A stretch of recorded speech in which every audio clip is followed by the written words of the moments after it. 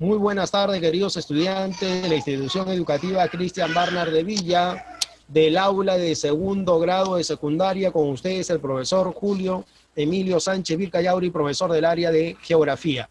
El día de hoy vamos a desarrollar un tema sumamente importante, la geósfera, vamos a conocer la parte interna de la Tierra, justamente el día de hoy que hemos tenido un temblor, vamos a ver dónde se origina, por qué se origina los temblores, y en el caso de nuestra Lima, estamos esperando, como le decía, pues un terremoto, ya que estamos pasando por un silencio sísmico de más de 200 años. El último gran terremoto se llevó a cabo en el año 1746. Se dice que habían 3.000 casas y solamente quedaron 250 casas en pie. ¿Se imaginan? ¿Se imaginan Lima Metropolitana ahora con 10 millones de habitantes, con muchas viviendas y muchos edificios? Es interesante estudiar entonces este tema para comprender que nuestro espacio geográfico presenta peligros y el humano tiene que estar preparado. Sobre todo el Perú, que está dentro del cinturón de fuego del Pacífico, sobre todo el Perú, que es un país sísmico, sobre todo el Perú, que es un país volcánico, sobre todo el Perú, que no tiene la cultura del sismo. Cuando hay un terremoto, todos gritan, corren, se persignan y ustedes saben muy bien que esto se debe a la naturaleza de nuestro país. Muy bien, queridos estudiantes, vamos a iniciar nuestra clase, pero no sin antes recordarle que tienen que lavarse las manos, eh, respetar las opiniones virtuales. Si ya participaste, también permite que los demás lo hagan. Silencia tu micrófono y participa activamente.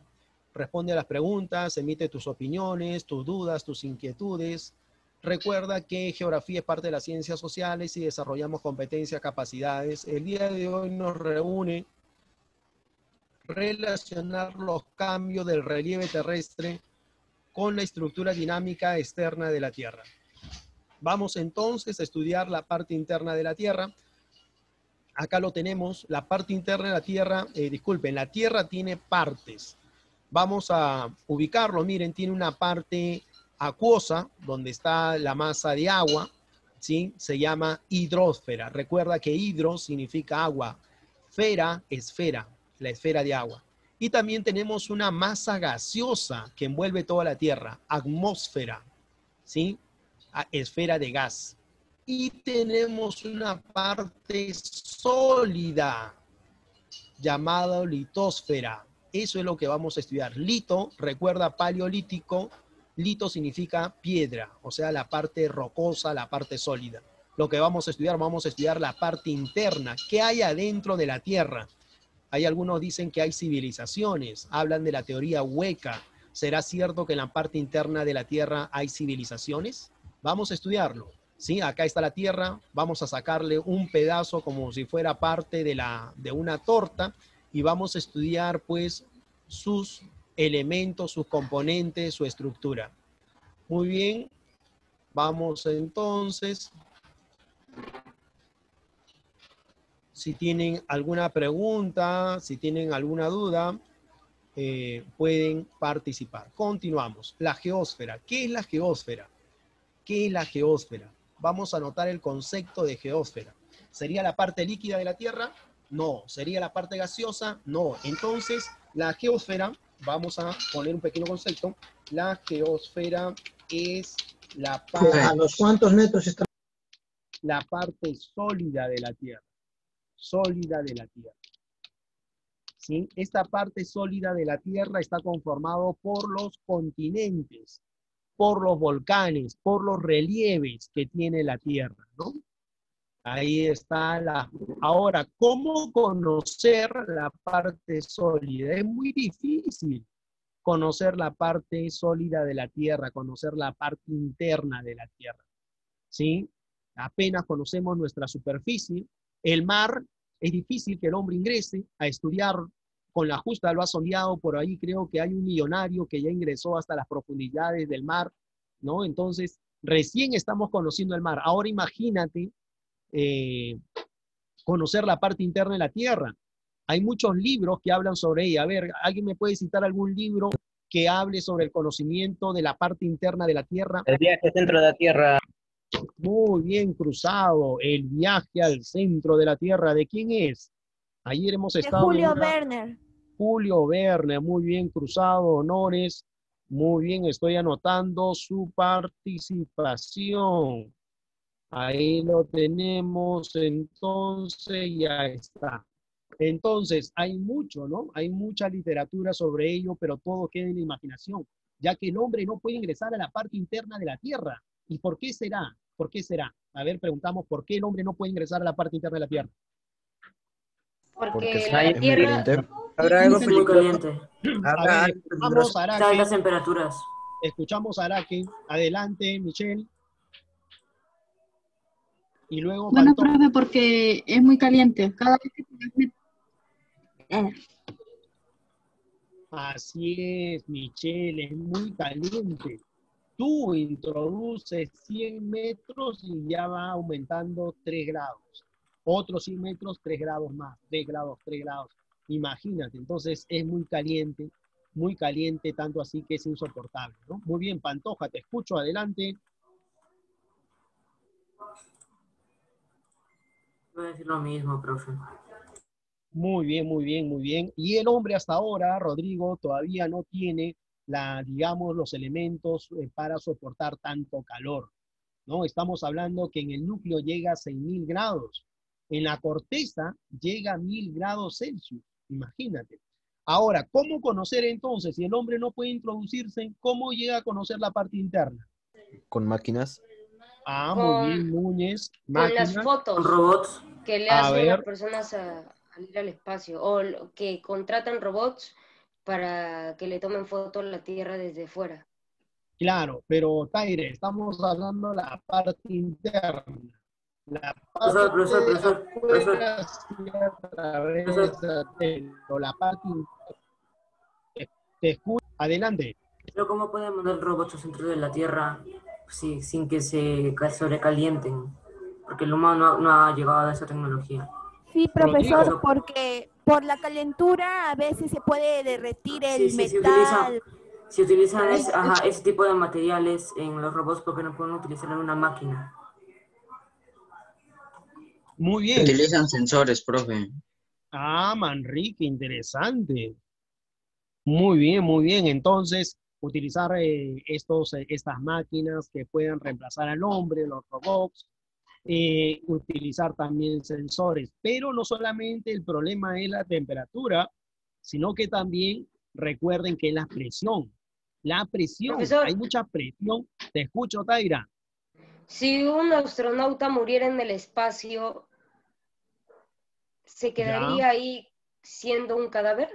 Así es, su cuerpo estuviera ahí varado. creo, creo, creo que eso ya Eh, ha pasado, ¿no? Un accidente. Sí, sí, hay, ponte a pensar, Cartagena y queridos estudiantes, que hay muchas naves inservibles que se han quedado en el espacio. A eso se llama chatarra espacial.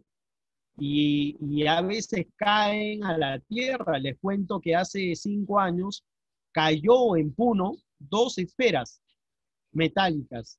Los científicos vinieron de Estados Unidos y dijeron era parte de una nave espacial. Hay mucha basura espacial. Pero hablando eh, de, la parte interna de la Tierra, mira eh, Cartagena, más conocemos la parte de afuera que la parte interna. Es como si conociéramos más eh, la calle, el barrio, que nuestra propia casa. Y eso es lo que pasa, ¿no?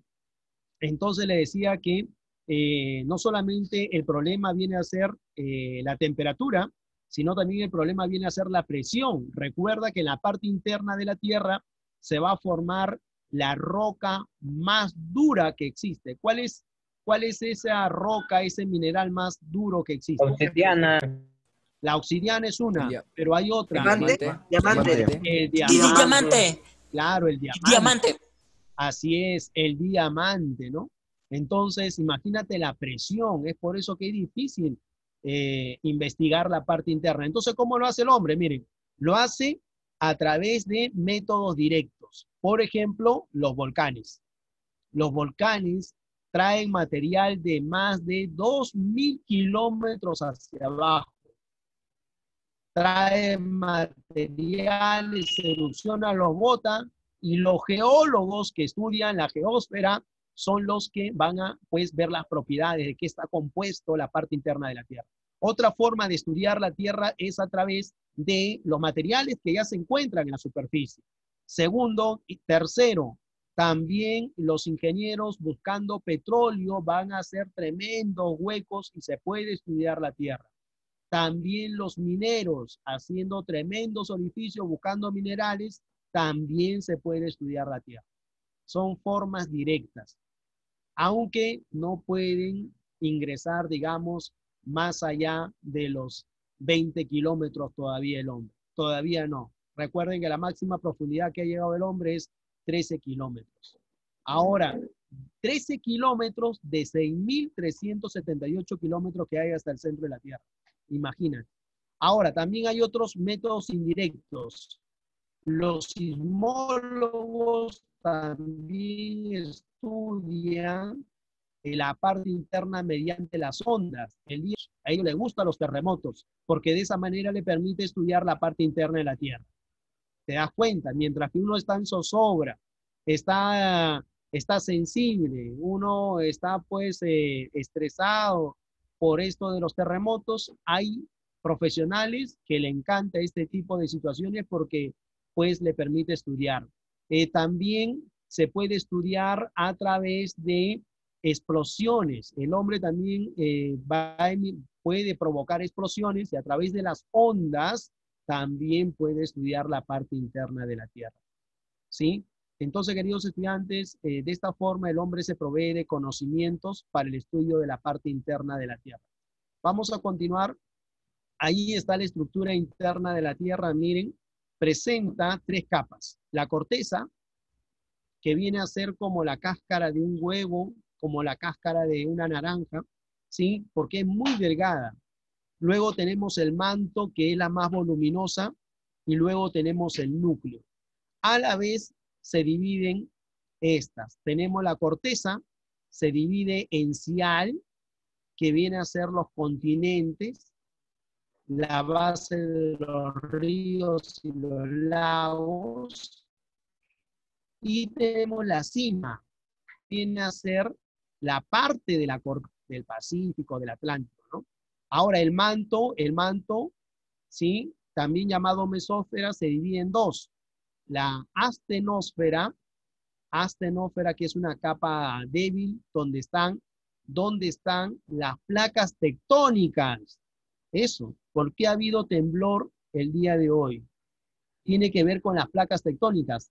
Hasta acá llegan las placas tectónicas. Estas placas tectónicas están en movimiento y al estar en movimiento chocan, ni siquiera chocan, rozan. Y al, mínimo roce, Cataplum Bandán se está moviendo el suelo y Garamendi comienza a persignarse. ¿Sí? Ahí sí nos recordamos de Diosito, del Santito, pero hay que recordar que Dios no manda los terremotos. En todo caso, lo que provoca los terremotos son las placas tectónicas. Así es que tienen que decirle, plaquita, cálmate, por favor, ya no te muevas. Te lo imploro, plaquita, plaquita de Nazca, plaquita de plaquita sudamericana, no te muevas, ya cálmate. Y luego tenemos, miren, la otra, la pirósfera. Habrán escuchado la palabra pirósfera. En Navidad en Navidad se habla de la pirotecnia. ¿Qué es piro? Piro, ¿qué es piro? Pirotecnia. Fuego. Así es, fuego, fuego. Muy bien. Entonces, eh, esta zona, pues, eh, no hay nada sólido, ya las rocas están en líquido debido a las grandes temperaturas. Y tenemos el núcleo exterior y el núcleo interior.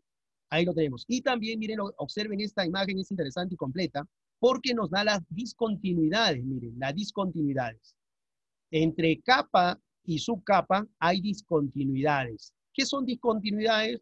Es una zona de transición donde hay diferente composición de material. Vamos a revisarlo cada una de ellas. ¿Hasta ahí alguna pregunta, queridos estudiantes? ¿Alguna duda, alguna inquietud? Ninguna. Continuamos. Estructura de la Tierra, y lo tienen, se divide en tres, pero la corteza a la vez se divide en dos, cial. Ahora, ¿por qué se llama cial? ¿Por qué se llama cial? Porque esta subcapa está compuesta de sílice y aluminio. Sílice y aluminio. Por eso se llama sial. También se llama capa granítica, porque la roca que abunda es el granito. Eh, recuerden que es la base de los continentes. La cima se llama cima porque está conformado por sílice y magnesio. La roca que lo conforma es la basáltica, es la más dura. ¿Sí? Ahí está también el manto. El manto, el manto superior también es llamado astenosfera. También es llamado astenosfera. Y el manto inferior también es llamado pirósfera. De ahí viene la magma. También es llamado pirósfera. Allí se encuentra la magma. Cuando sale la magma de los volcanes, cuando sale se llama lava. Y tenemos el núcleo, el núcleo interno y el núcleo externo. Se dice que el núcleo externo es líquido y el núcleo interno es sólido por tanta presión que tiene. ¿Alguna pregunta, alguna duda, alguna inquietud? Ninguna. Continuamos. Tenemos la corteza entonces, la corteza terrestre. Ahí lo tenemos. Recuerden que la corteza también es llamado litósfera. ¿Por qué litósfera? ¿Lito qué significa? ¿Qué significa lito? Piedra. Piedra. Entonces, esfera de piedra. Costra, porque es delgadito, o sea, es muy delgado para todo el espesor de la Tierra. Hasta los 70 kilómetros es muy delgado.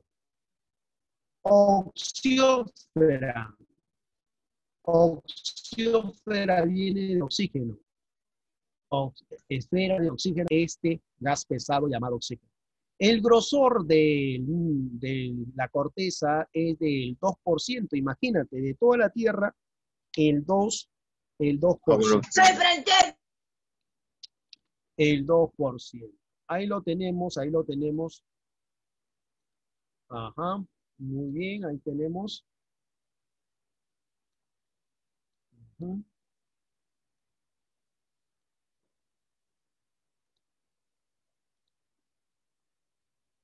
Se ha filtrado por ahí un audio.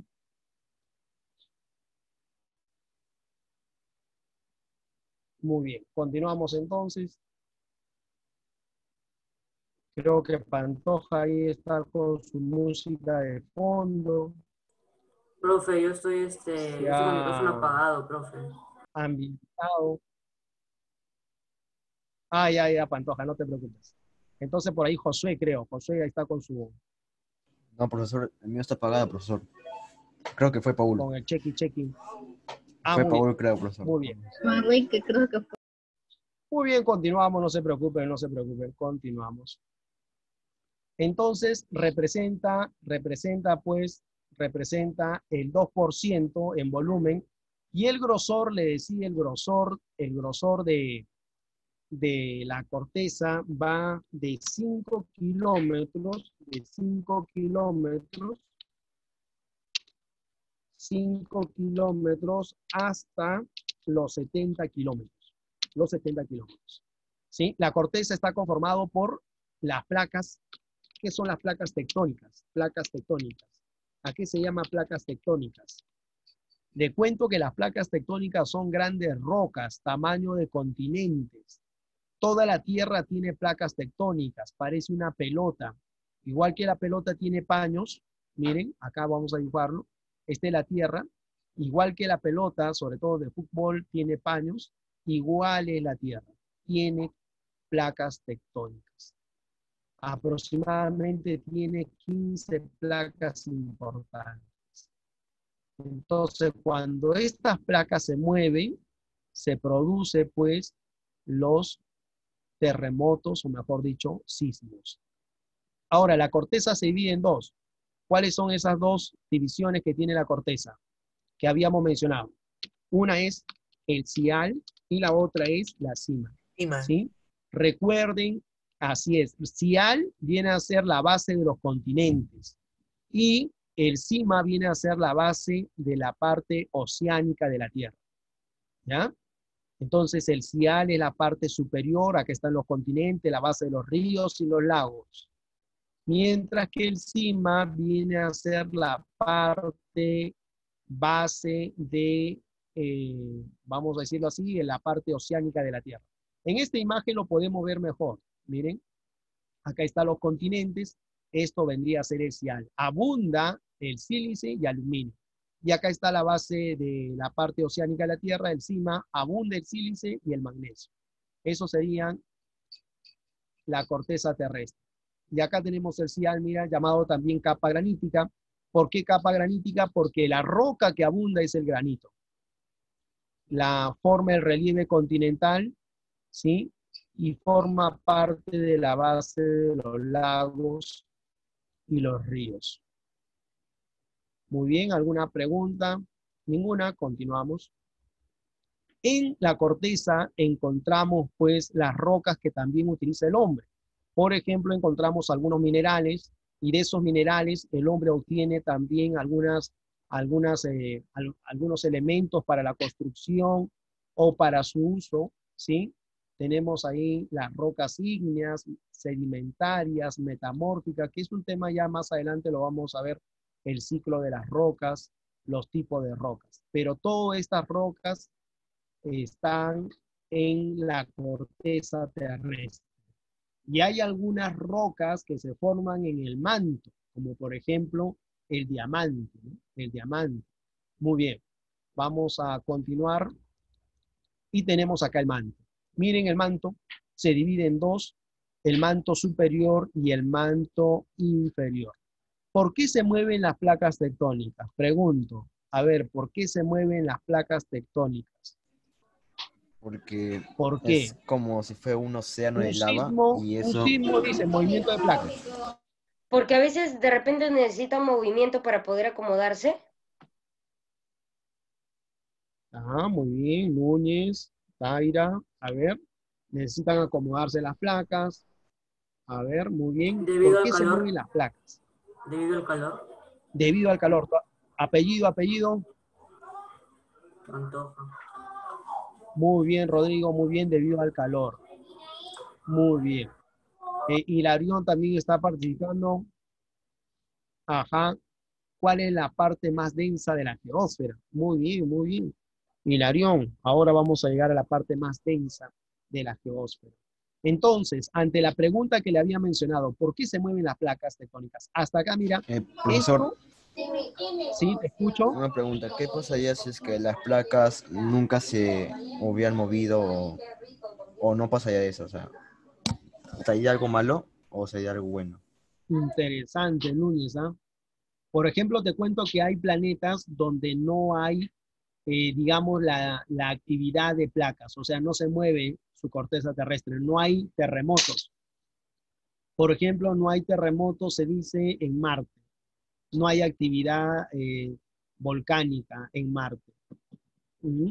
Ahora, si esto no se diera, si no se diera, digamos, el movimiento de las placas, los terremotos, la formación de volcanes, tal vez no hubiera sido posible la vida, porque si tú revisas, eh, revisa, por ejemplo, lo que es las eras geológicas, en una de nieve, cubierta totalmente de hielo.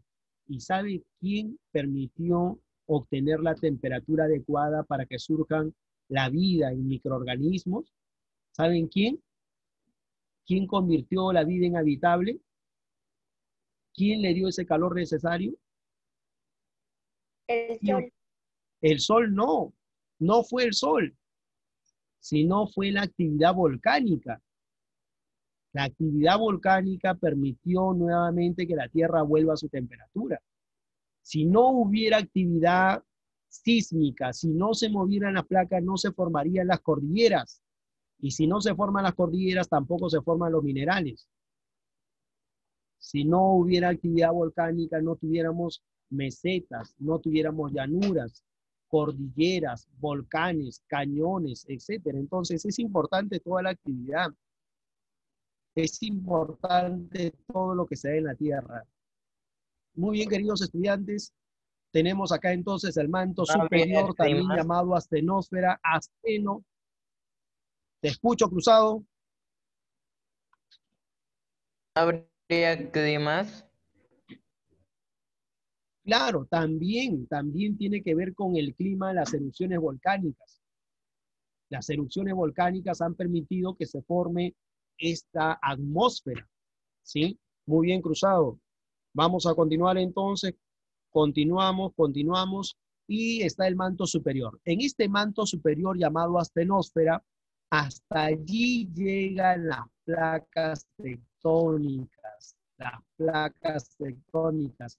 Y como decía su compañero, ¿por qué se mueven las placas tectónicas?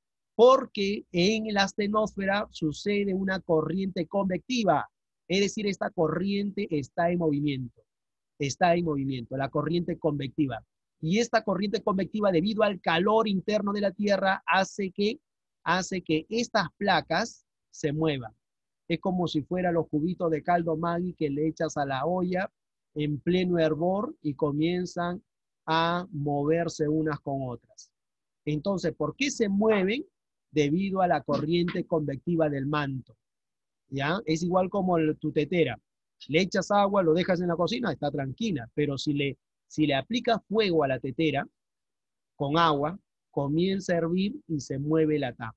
Entonces tiene mucho que ver el calor acá para el movimiento de las placas tectónicas.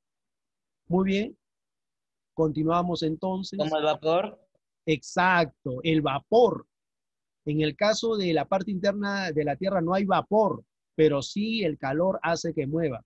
El vapor recuerda que hizo también que se muevan, que se mueva, que se muevan las maquinarias, los barcos. Entonces el calor, el calor es sumamente importante dentro del movimiento. Inferior, el manto inferior, queridos estudiantes, miren la temperatura, la temperatura que está el manto inferior. Ya estamos hablando de 2.500 grados Celsius hasta 2.900 grados Celsius. El, ahora, este manto inferior, recuerda que también se llama pirósfera, porque hay un fuego interno, ya no hay roca sólida, todo es líquido, llamado magma. Se dice que de este manto inferior proviene el magma de los volcanes. Entonces los geólogos cuando observan, experimentan, estudian un volcán, saben que ese material ha viajado muchos kilómetros y nos da información de la parte interna de la Tierra. ¿Alguna pregunta, alguna duda? Tenemos ahora el núcleo externo. El núcleo externo. El núcleo externo, eh, todo el núcleo trabaja como si fuera un imán. Es más, protege a la Tierra del viento solar. Eh, el núcleo externo se dice que es líquido. Y miren, miren a cuánta temperatura está. 4.400 grados Celsius. En el núcleo eh, interno, en el núcleo interno llega hasta los 6.000 grados. En el núcleo interno. 6.000 grados. ¿no?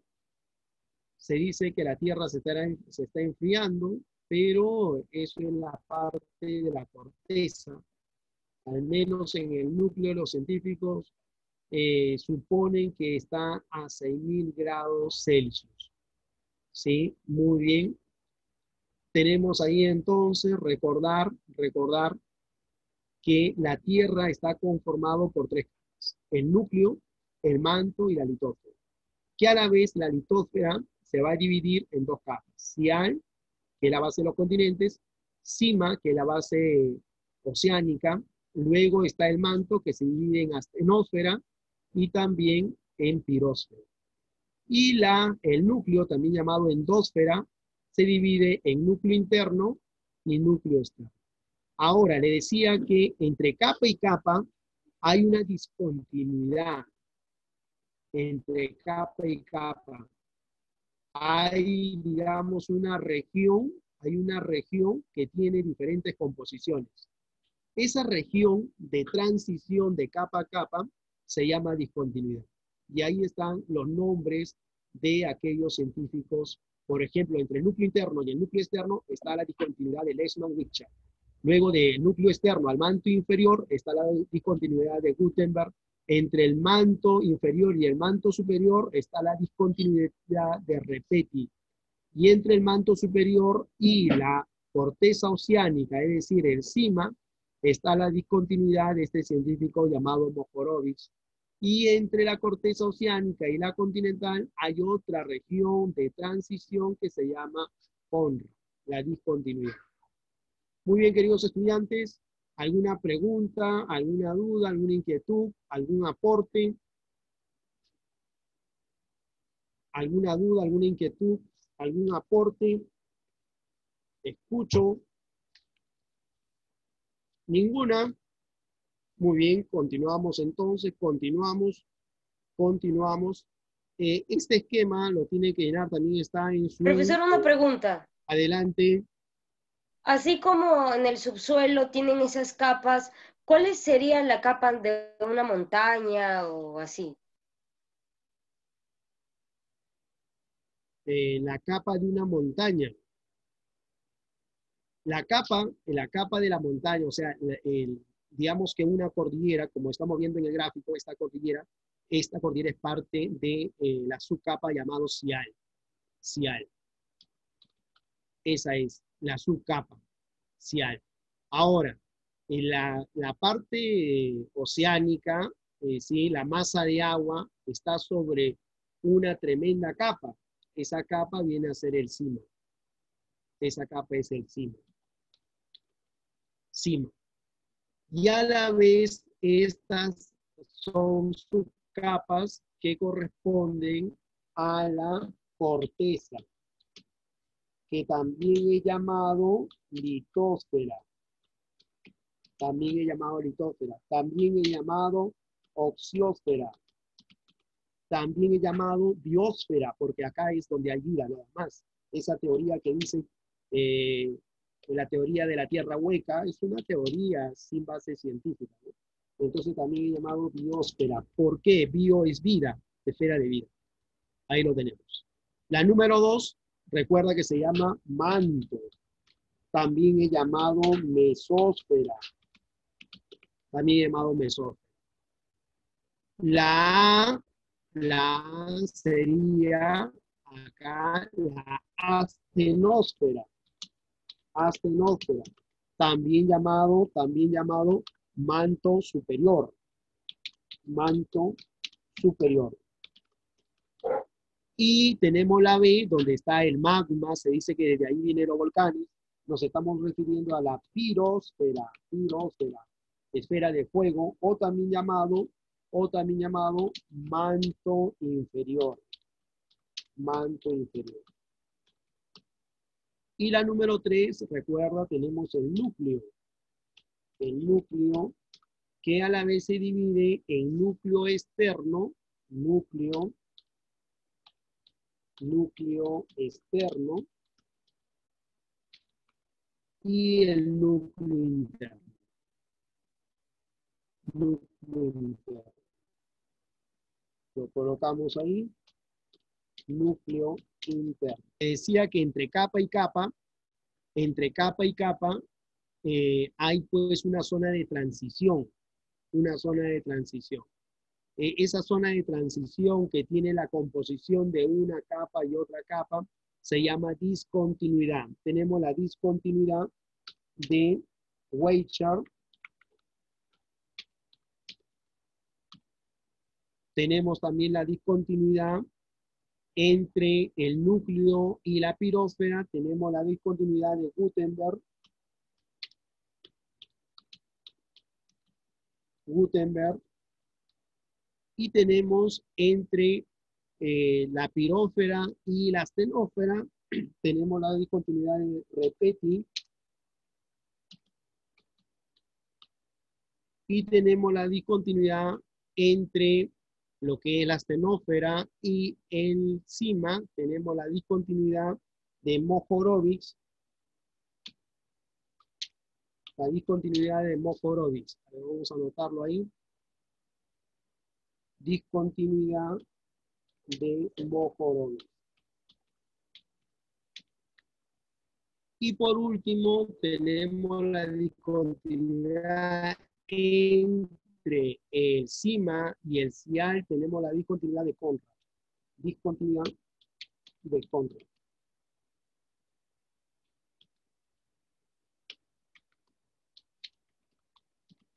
Ahí está. Discontinuidad de contra. ¿Alguna pregunta, alguna duda ya para pasar a desarrollar el cuestionario?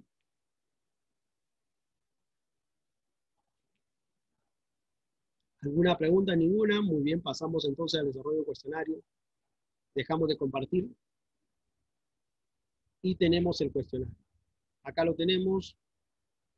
Voy a compartir. Compartir.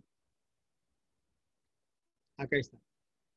Es la parte de la Tierra conformada por los elementos sólidos. Estamos hablando de la geósfera. ¿Qué es la geósfera? Entonces colocamos ahí concepto de geósfera. Concepto de geósfera, geo significa tierra, esfera de tierra. Pero la geósfera es la parte de la Tierra conformado por elementos sólidos.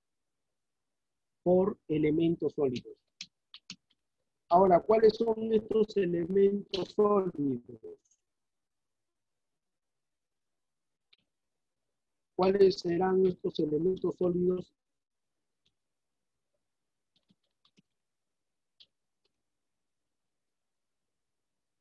La siguiente pregunta dice, la geósfera es la parte estructural de nuestro planeta que posee mayor.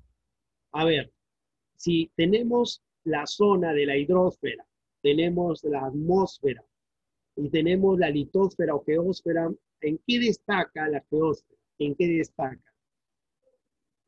¿En qué destaca? Es la de mayor, ¿qué cosa será? Es la de mayor qué? Si en el interior de la Tierra hay 6.000 grados, en la atmósfera hay 6.000 grados, en la hidrósfera habrá 6.000 grados, habrá, No. Por No. lo tanto, es la zona de mayor temperatura. Temperatura. Otra. A ver. ¿Dónde dentro de la Tierra? ¿Dónde será más pesado? La parte interna de la Tierra, por lo tanto, hay no, en el mar no es, en la parte interna de la Tierra, por lo tanto hay mayor presión, también hay mayor masa, también hay mayor densidad, también es el de mayor espesor, ¿sí? Anotamos eso entonces. Anotamos eso. Y también el que contiene minerales, ¿no? Ahí están los minerales. Minerales. Continuamos. Espesor de la geósfera. ¿Dónde habrá mayor espesor? ¿En la parte ecuatorial o en la parte polar? ¿Cuál es la forma de la Tierra? ¿Dónde habrá mayor espesor? Ecuatorial. Exacto. Entonces colocamos espesor ecuatorial 6.378 kilómetros. Profesor, Te escucho. Adelante, Taira. en donde dice mayor, abajo de minerales, ¿qué tiene que ir? Tenemos ahí temperatura, tenemos presión. Ah, podemos aumentarle acá volumen. Es el más voluminoso de los tres. Volumen, volumen. Ya está. Muy bien. Ahora, ¿cuál es el espesor polar? ¿Es menor? Sí, es menor. 6.356 kilómetros. Recuerda que la Tierra es achatada en los polos y ensanchada en el Ecuador. Muy bien. Composición de la Tierra. ¿Qué tiene? Hierro, bastante hierro. Tiene oxígeno, tiene silicio, tiene también magnesio y muchos. ¿Cuántos elementos químicos eh, hay en la tabla periódica? ¿Cuántos elementos químicos hay en la tabla periódica?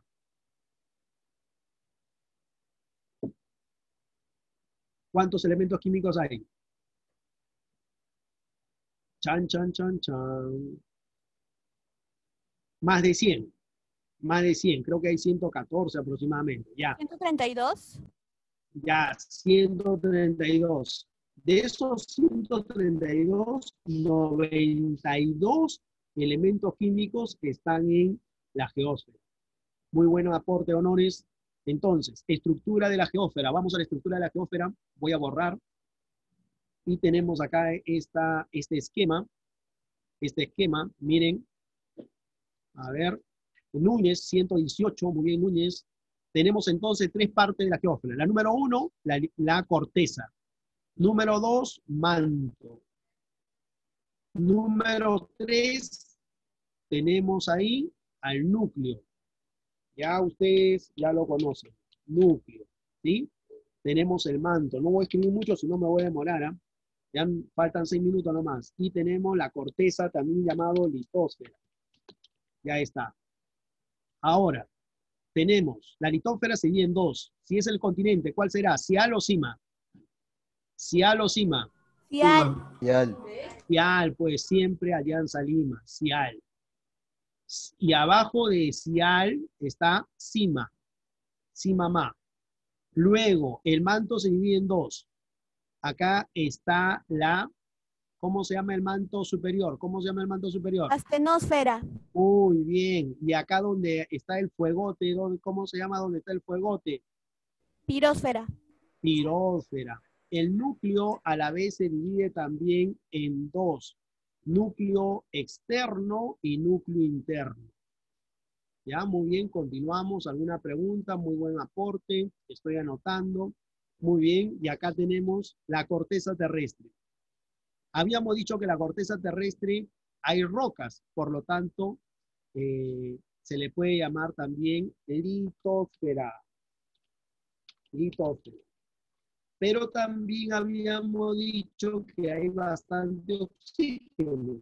Por lo tanto, también se le puede llamar oxiósfera. ¿No? Ahí está, ¿no? La roca, la cual estas rocas son enormes, a tamaño de un país, de un continente. ¿Cómo se llaman esas rocas?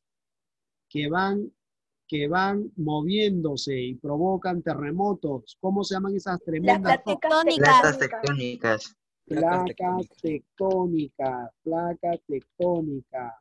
Ahí está. Chequi, chequi, chequi. Ahí está en la litosfera. Se divide en dos. Acá está, miren. Cial, ¿por qué? Si de silicio y al de aluminio. Ahí está. Y constituyen la base de los de la parte oceánica o continental. Constituye la base de la parte oceánica o continental. Continental. Exacto, constituye la base, la base continental, continental. Luego dice, también llamada, también Capa. llamada capa, ¿qué, qué roca abunda en el cial? ¿El granito o el basalto? Granito. El granito, por lo tanto también llamada capa granítica, capa granítica. Ahora dice, forma el relieve. Cuando vemos los cerros de José Carlos Mariátegui, recuerda que ese es el cial, porque forma el relieve de los continentes, de los continentes. Es decir, dos puntos seguidos, tenemos ahí las montañas. Las montañas. ¿Cómo se llama el conjunto de montañas? ¿Cómo se llama el conjunto de montañas? Cordillera. Cordillera. Cordilleras, coma, mesetas, coma, etcétera, etcétera, etcétera. Ahí lo tenemos. Muy bien. La densidad observada es de 2,7 gramos por centímetro cúbico. La temperatura hasta donde llega el cial, fíjense, a 430 grados Celsius. 430 grados Celsius. Imagínate. A esa, a esa temperatura, tal ocaso tu lente, Manrique, ¿ah? a esa temperatura, pues el humano se vuelve ceniza, ya por 430 grados Celsius. Ahora que estamos en la pandemia, lamentablemente los cuerpos están siendo incinerados. Entonces, imagínate, tiene que soportar esta temperatura para que se vuelva polvo. Entonces, el hombre no puede viajar al centro de la Tierra, ¿no?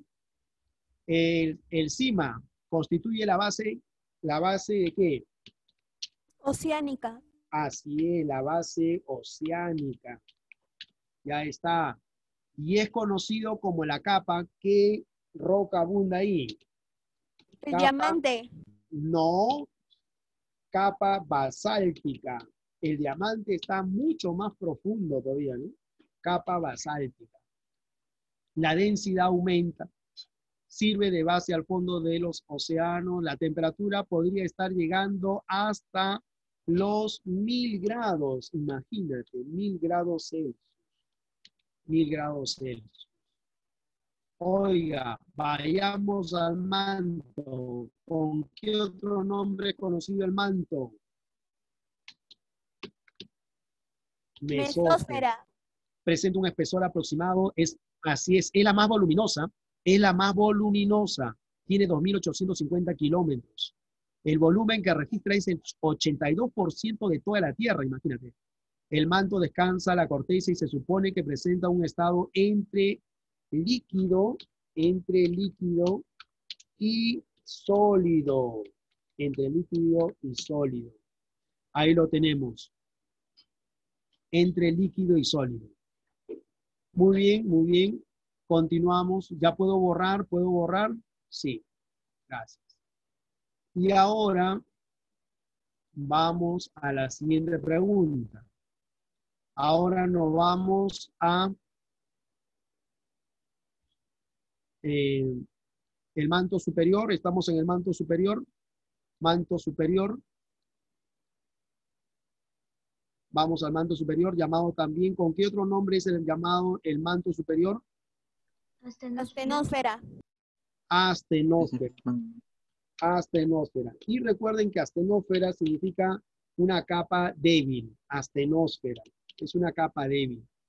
Muy bien. Y recuerden que hasta allí llega las placas tectónicas. Allí se produce la corriente convectiva del manto.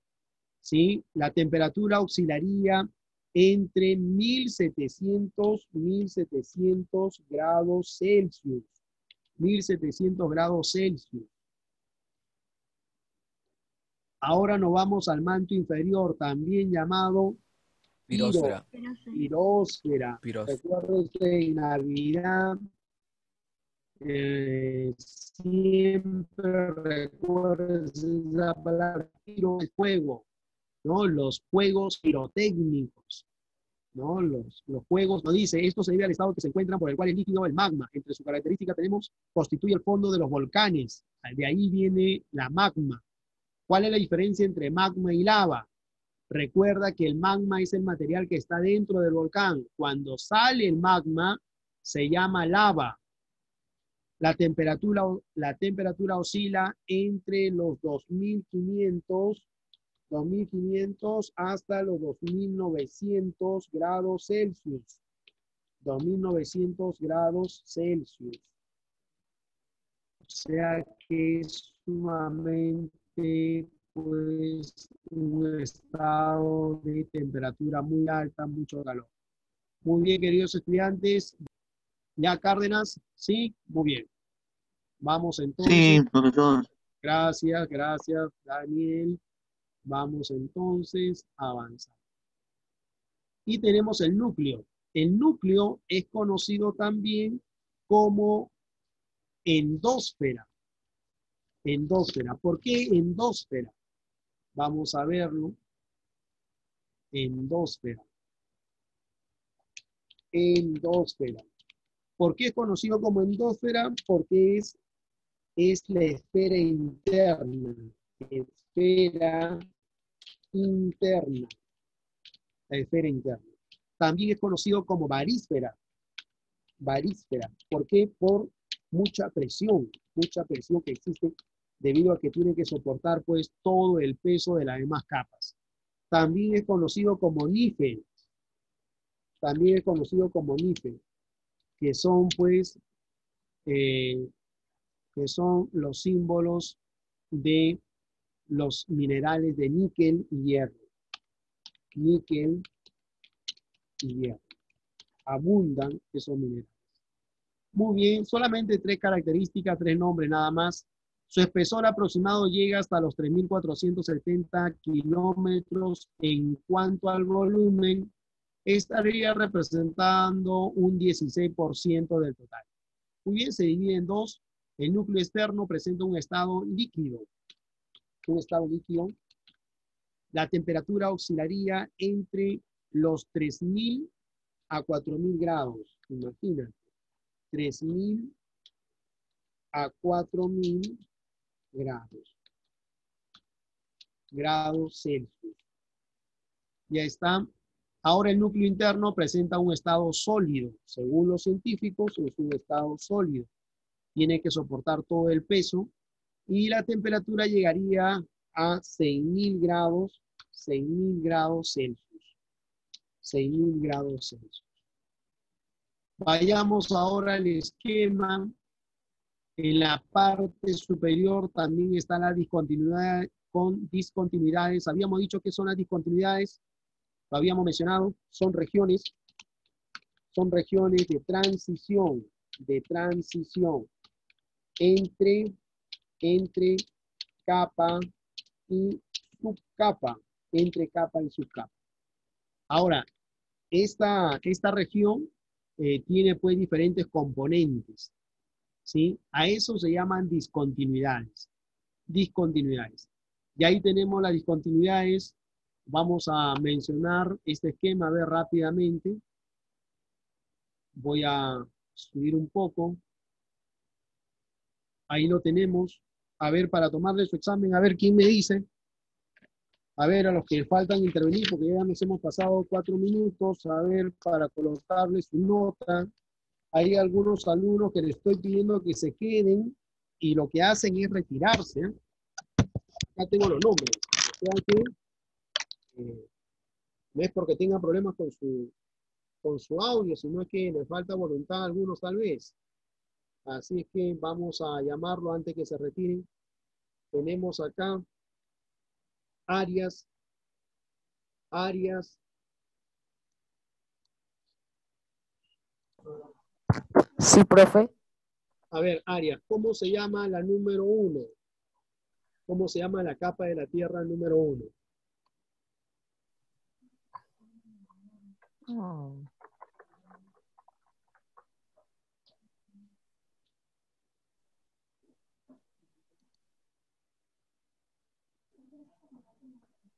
eh, corteza. Muy bien, Arias, la corteza.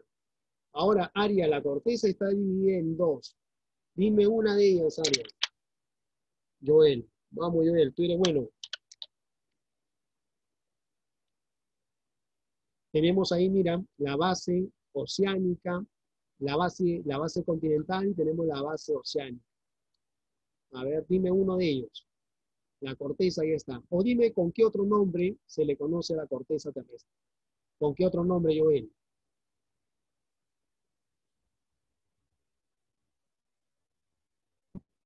A ver, Joel, háblame sobre el terremoto. ¿Por qué se ha producido, disculpa, por qué se ha producido el terremoto el día de hoy?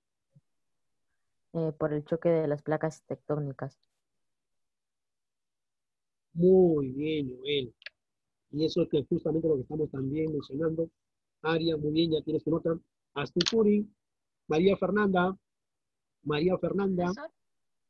A ver, María Fernanda, eh, la corteza terrestre se divide en dos. ¿Cuáles serán?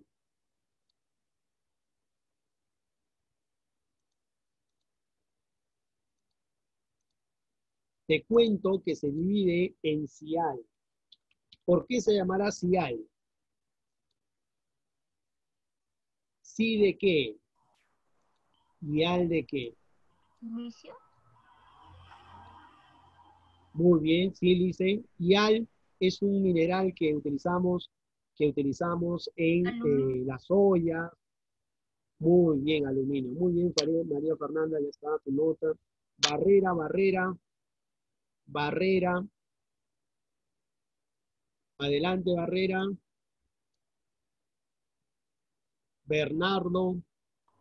No, profe. A ver, adelante. A ver. Dime tu apellido y canta. Cabrera, profe. La número dos. ¿Cómo se llama la número dos?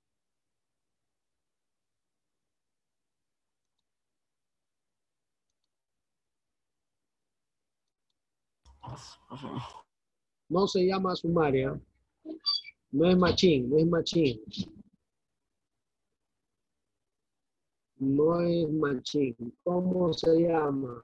A ver, acá tenemos un voluntario. Me dice, yo creo que a ver quién es. Manta, profe. Muéstrate, Sánchez. Adelante. Claro, pues Cabrera, manto. Muy bien. ¿Y el manto? ¿Qué podemos encontrar en el manto, José Luis? ¿Qué encontramos en el manto? Chan, chan, chan, chan. ¿Qué encontraremos? Algo que tienen los volcanes. Lava. Lava, muy bien, lava. ¿Ha visto la película Intensamente? Sí, profe. Y en Intensamente había un corto, un pequeño cortometraje que hablaba sobre un volcancito que estaba enamorado de una volcano, con canción incluida todavía. Muy bien, continuamos, continuamos. Ahora, muy bien, ahora un voluntario que todavía no participa, un minuto más y les- los invito a retirarse. A ver, un voluntario, ¿qué será la A? Que no haya participado. ¿Y qué será la B? A ver, cualquiera, A o B. A, atmósfera. No, paria, atmósfera no es porque no estamos en la parte, eh, digamos, en la parte externa. la No, diré at- astemos- at- astenosfera. Claro, muy bien, muy bien. Astenosfera. Lo vamos a anotar para ayudarle también a tus compañeros. Astenosfera. Astenosfera. Muy bien. Y Otro voluntario. ¿Y cómo se llamará la B? La B, ¿cómo se llamará? Mesósfera. Muy bien, Alison. Mesósfera, pero también tiene otro nombre, Alison, donde hay fuego. Biosfera. Muy bien, pirósfera. Muy bien, muy bien, Alison. Ya está, ya te anoté. Vamos a colocarle ahí la pirósfera. La pirósfera, ya está. ¿Y cómo se llamará la 3? A ver, un voluntario que hasta ahora no participa. Voluntario. Yo. ¿Sería? Cárdenas, Cárdenas, Cárdenas, te escucho, Daniel. Núcleo tecno. Muy bien, el núcleo, muy bien. Daniel, ¿y la A cómo se llamará la A? ¿Qué núcleo será? ¿Qué núcleo será la A? Externo. Muy bien. ¿Y la B? ¿Y la B? Núcleo interno. Exacto, muy bien, muy bien, Daniel.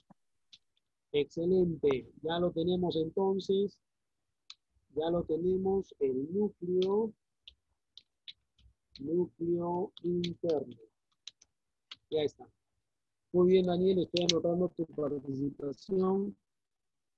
Ya está, queridos estudiantes. ¿Alguna pregunta hasta ahí? ¿Alguna pregunta hasta ahí? Ninguna. Continuamos entonces. Y esta parte que está de amarillo, las letras de amarillo, son las discontinuidades. ¿Qué son discontinuidades? Son regiones de transición entre capa y capa. Tenemos la, discontinu- la discontinuidad de Weicher, de Gutenberg, de Repetti, de Mojorovic y de Conrad. Ahí lo tenemos. Muy bien, queridos estudiantes. Eh, vamos entonces a pedirle que se retiren aquellos que han participado y los demás se quedan.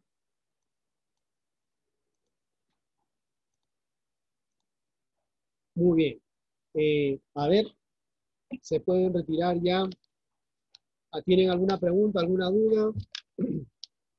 Ninguna. Muy bien. Se pueden retirar Araque, Arias, Astucuri, Barrera. Se puede retirar también Cabrera, Caguana, Cárdenas,